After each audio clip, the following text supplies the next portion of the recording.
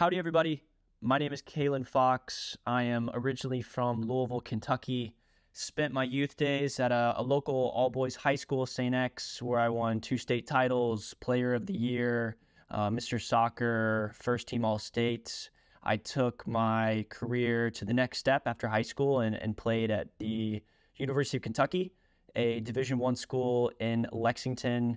Spent four years there, had a redshirt year my junior year because of a injury due to breaking my collarbone.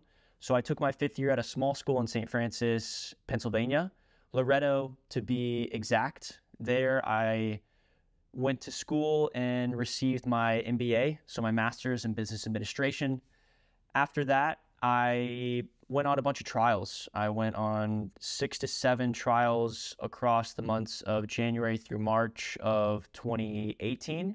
I didn't land anywhere. I played USL 2 in Mississippi in 2018. Um, went on a few trials during that, but didn't end up landing anywhere. After that, I looked abroad, specifically Iceland. Um, I landed in Iceland, my first professional contract in 2019. I spent a season out there, did really well. Uh, my first year as a pro, I was the club player of the year, which was awesome. And then after that, because of the season that I had in 2019, I mm-hmm. moved up. So I played in the first division of Iceland in 2020. Of course, some complications with COVID, but we were still able to get a 15 to 16 game season out in Iceland in 2020. After that, I decided to come home. So I played at FC Tucson in USL League One for 2021 and 2022. I recently just signed a new deal with Lexington Sporting Club. It is a first year team in USL League One. That's going to start in 2023. So we leave for preseason here in just a month. I'm excited to to share a couple of challenges that I've had in my career. One being in high school, one being in college, and then one being post. In high school, I wasn't a great player. I'll be honest. I was average at best. My freshman year, freshman tryouts come along, and I barely make the freshman team at my local high school. 17th man, always the last guy to get in. But um, three years later, I held up a state title. Um, I was the captain. I was Mr. Soccer. I was Kentucky Player of the Year, um, high school All American, all of those accolades and awards. I think my freshman year in high school, it was due to not being in tune with my body. I was still growing. I was still a little bit immature. I didn't really have the love of the game that I ended up having a couple years later down the road. But I think for that instance, just enjoying the game, um, having fun with friends, and enjoying the process is kind of what got me through that. I had a really good friend that we would go out to our local grade school in our neighborhood in the summers and just kick the ball around and work on things that we weren't great at. My left foot, in particular, my long balls, my headers, speed, and agility.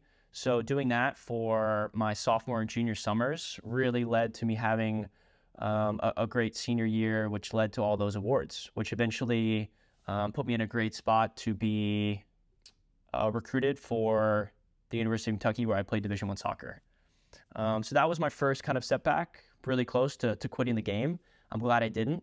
Um, the second one came in college, my junior year in the summer. Um, I was playing on a team down in Knoxville and I broke my collarbone.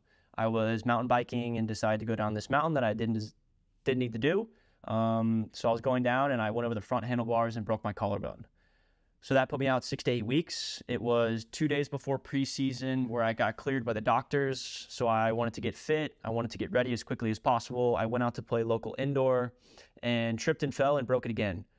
This caused me to have to redshirt my junior year. It was a really a really dark year for me. Um, I had done well my freshman and sophomore year at Kentucky, um, a constant starter. We did well my sophomore year, and it was over like that. So every couple weeks, I'd go to the doctor, and he'd say, "Hey, a couple more weeks, you will be back in the field. It's still healing, et cetera, et cetera." Um, so having to watch training, watch games, and watch my my team compete and win um, was tough from the sidelines because I wanted to be out there. I'm sure those listening know how hard injuries can be, um, um, but I think it taught me patience.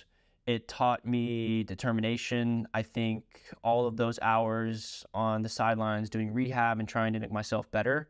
Um, I spent a lot of time working on mental health and just understanding that bad things happen throughout your career. Um, very few of us will get through a career being injury free. Um, I spent 16 to 18 weeks because of my collarbone. Um, so those were two initial setbacks in, in my career early on. After I graduated St. Francis in December of 2018, I started basically a year of trials. So we're talking in February, I was on trial with Seattle Sounders S2, who were in the USL Championship at the time. I spent three weeks with them. The first week was about 40 of us, and only six guys made it to the second team training for preseason. I was one of those seven guys.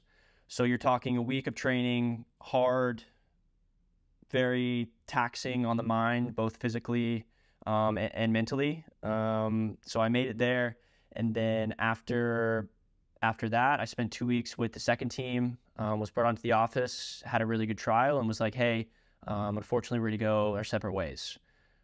I made it back to my apartment and, and booked another trial on the next day, I was on a flight from Seattle, Washington to Charlotte, North Carolina, and was on another week trial there.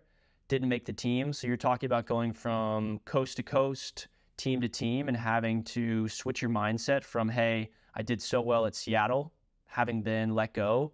The next day, I'm with a new team, new locker room, new guys, um, new coaching staff, and having to switch your mindset from, that trial with Seattle is over. Now let's get ready. Let's get engaged in less than 24 hours. Start a new one in Charlotte. Um, after that, I went on a few other trials. So I think that initially going from state to state, team to team, locker room to locker room is really tough. Getting a constant no, getting a constant, hey, you're almost there, but we just don't have the money, or we just don't see you fitting it with the, within this team or within within this locker room. Um, so the constant same phrases, same messaging was was really tough um, mentally. After that, I decided to play USL League Two, which is amateur.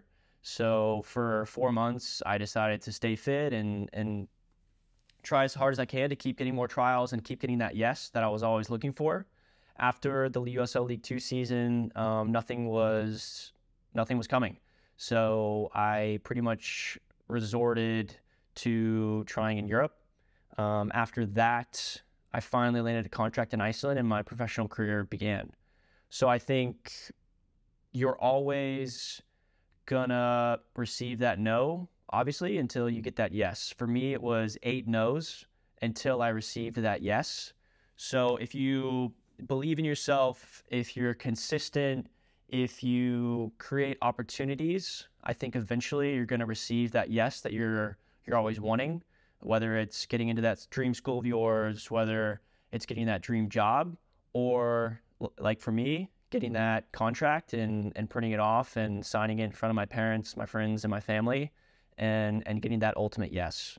So from high school, not making my barely making my freshman team to a major setback in college, having to spend an extra year at St. Francis and, and ultimately getting my MBA, which I'm, I'm, I'm very thankful for and then having to go to five, six, seven trials before getting that yes are three key factors and obstacles throughout my career that if I didn't push, if I didn't try, then those wouldn't have ultimately happened, and I would have signed the professional, uh, my first professional contract in Iceland, and um, be able to be the first ever signing at my new club, Lexington Sporting, uh, here in Lexington, Kentucky.